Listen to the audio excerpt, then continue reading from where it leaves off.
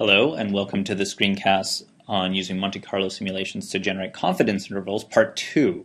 So, in the first screencast uh, where we did Monte Carlo simulations to generate confidence intervals, as we described, we left a few important things out. Um, we first uh, included had to include a uh, residual a variation residual standard errors and recognize that those are estimated and thus are subject to, to variation. But the thing we didn't really get to is how to include the idea that we will have covariation among our predictor variables. So I'm going to show a couple of ways to do deal with that.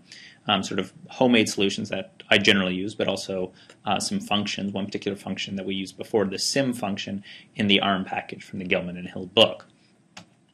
Um, I'm also going to just set up a few things. I haven't done this before, but I'm just going to set up a few things to make it a little bit clearer on screen, just setting up a few options, and you can look at that on your own. And just like always, we're going to just read in some data and, and clean it up, and, I'm not doing anything new here, so I'll let you, uh, you can read that on your own. Um, there's nothing new there. And we're going to center our covariate that we're working with, which is the Tarsus length here, just as we've done before.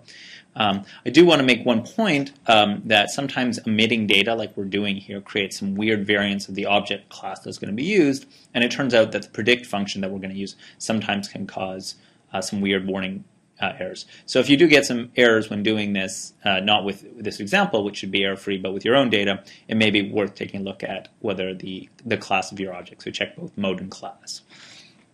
Okay, and as before, we'll, we'll start by just plotting our simple linear model. Um, oops, that didn't work. I should probably actually capture all of the, uh, there we go. So just as before, we're just going to look at the relationship between sexcomb teeth and tarsus length, and I guess we're using centered tarsus length.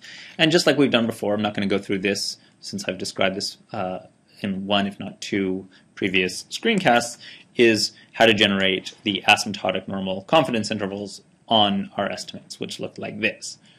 What we're going to see now is that we can actually generate something fairly similar using Monte Carlo simulations which immediately people may ask, well, if we can already generate these with asymptotic normal, why do them?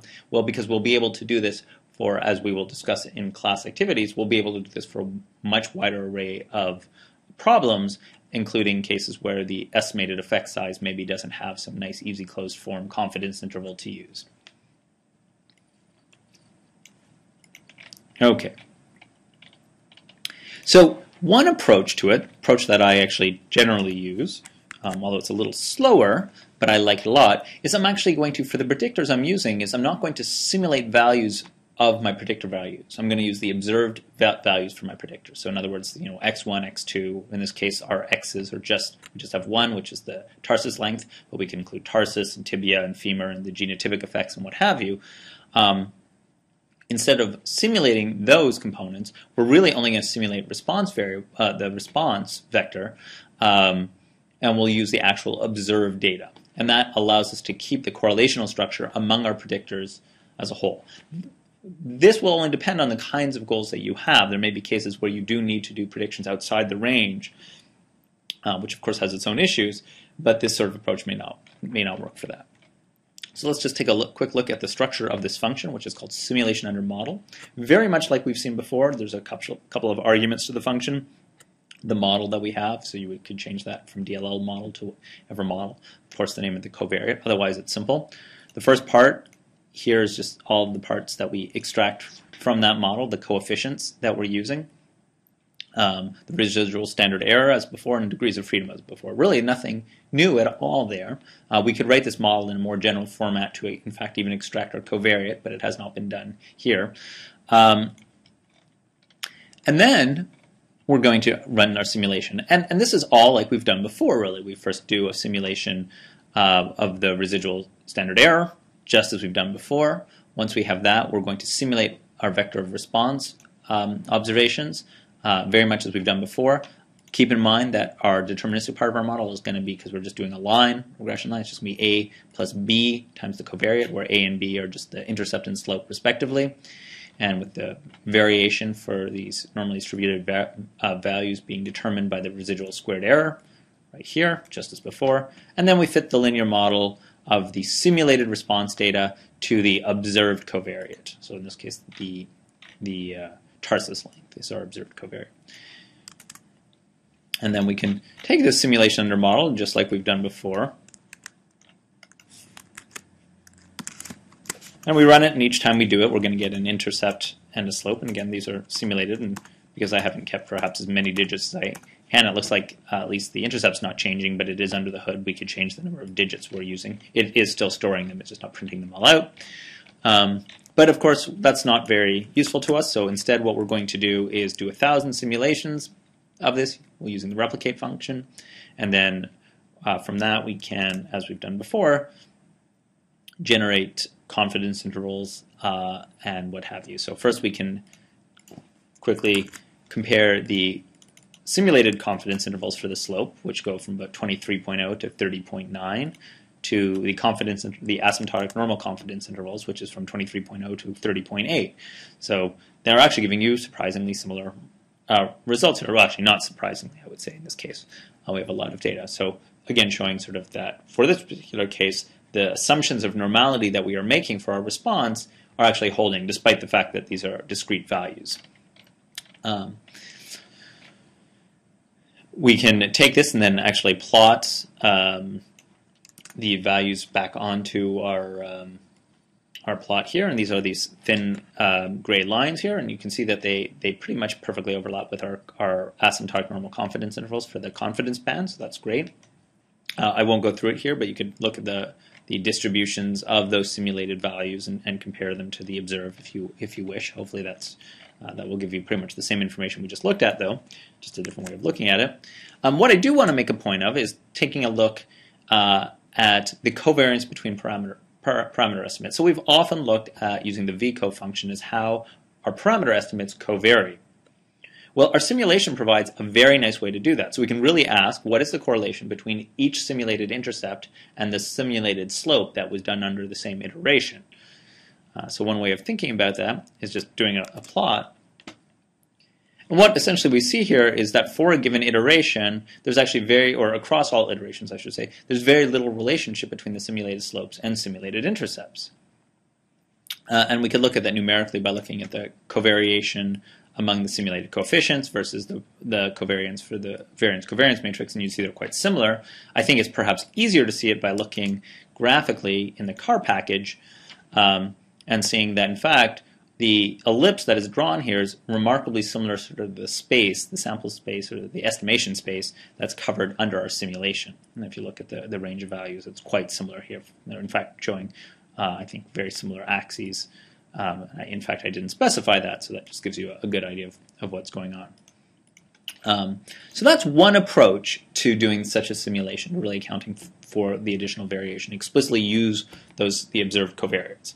But sometimes there's other things you may want to do. So one approach is to instead of simulating response vector itself, you actually just do your simulations under the uh, of the parameters themselves, including the structure of the covariances among the estimated parameters. So for this, to do this, what we're going to have to do is use the MASS library. And it's going to be important to note that this is a little bit different than the simulations we've done up to now. We're not going to simulate a vector of response of, of observations of the response variable. We are literally going to just simulate slopes and intercepts. The way we're going to account for, for the covariation is to literally say, let's use the estimated covariances from the parameter estimate. So in other words, the numbers we get out of the vcov function. So to do this, we're going to have to use a function from the MASS library, which is installed by default, um, which allows us to simulate under multivariate normal.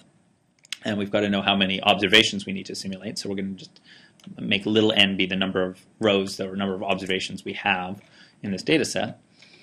And like I said, here we're generating random intercepts and slope for the observed model, and then we're going to plot curves as we've done before. But we're not simulating the response and refitting, but just simulating from the distributions of slopes and intercepts instead, having accounted for the degree of covariation. And so this function is actually quite simple. This model sim uh, function, in fact, it's only got one argument here uh, that you need to worry about, the dll.model. Um, so we're just calling that model. And what we're using is the multivariate normal um, distribution. So this is going to produce random numbers out of a multivariate normal. We're just asking each time for a single number, n equals 1. And there's sort of two main pieces to this, two main sort of arguments to this function that we were thinking about. One is the vector of means, And our vector of means in this case is just going to be our coefficient. So if we had a model with just an intercept and slope, we just have a vector with two means. One is the intercept, one is the slope. If we have 10 coefficients, we're going to have a vector of length 10, again, for each of those coefficients. And so we literally can just specify coefficient 1 through coefficient however many p, you know, up to p, p parameters that we're estimating. In this case, it just happens to be 2, and we can just write it this way. The other thing that we need to specify is the variance covariance structure of this multivariate normal. But thankfully, all we need to do is give it the variance covariance um, of the actual model. So we fit the model up here, and we said, okay, use the fit model. And then we use that structure. And that's going to allow us to account for the covariation among parameters.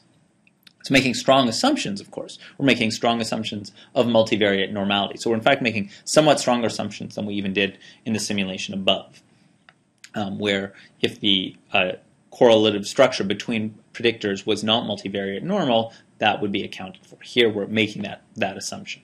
And then we're just returning uh, from, from this the um, simulated slope and, and, and simulated intercept. So we can run that. And we can just run it once like we've done before, and each time we do it, just like we've done before, we've written this this way on purpose, we just get intercept and slopes, and you can see the numbers are pretty similar, similar. But let's actually do the simulation many times.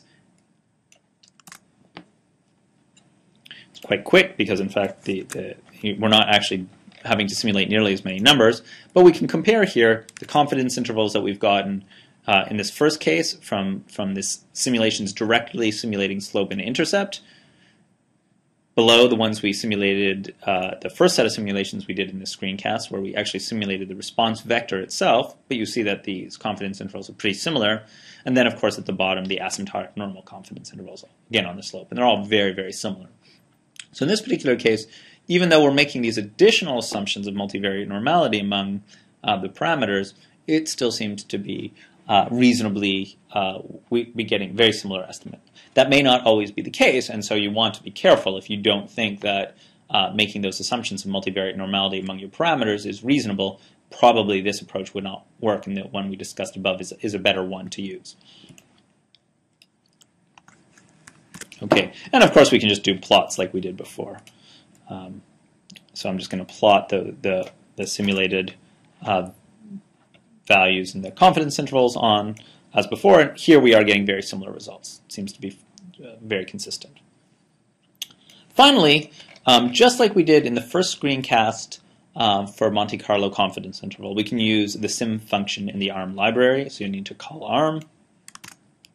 Um, you'll get a few more things. Mine's already um, been called. And we just need to call the sim function with the name of our model and how many simulations we want to do. From that, we extract the simulated slopes. Please notice the ampersand here instead of the dollar sign. That's because these are stored in a slightly different class uh, of object called an S4 class. Most of the ones we use are S3, but you just need to keep in track when you have to use the ampersand versus the dollar sign. Um, so you just we'll just run these, and then we can just get the uh, confidence intervals just as we did before. And we can see that our confidence intervals from, from the ARM package, from sim in the ARM package, 22.9 to 31.0, it's very close to our 23.0 to 30.8. Again, getting very consistent results. And similarly, we can just do the plot again. I don't think that's necessary to look identical. And these are sort of, so the sim package is, is really just using an approach very similar to this one where we uh, assumed a multivariate normal distribution uh, for our, our, responses, at least as I understand it. Um, but it allows for a lot more uh, variables. So depending on the object you put in, it actually allows for a lot more variable structures. And we'll talk more about those later on in this class. Um, but do keep in mind, if you think that such assumptions of multivariate normality are not as good, then perhaps using the observed predictors is a, a, better way. And if you really want to feel uncomfortable making any such assumptions, then resampling methods perhaps would be preferred, non-parametric resampling methods. Um, and thank you, and that's the end of this uh, screencast.